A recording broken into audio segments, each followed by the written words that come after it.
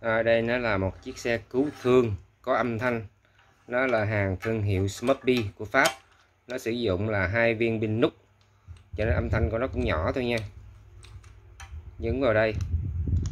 Đó, cái này là cậu nút nhấn thì khi nó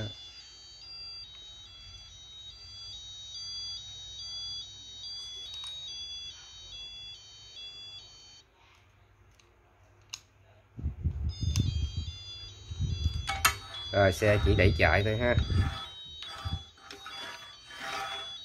Và nó có thể chơi vừa với lại cái mô hình mô hình xe này đây.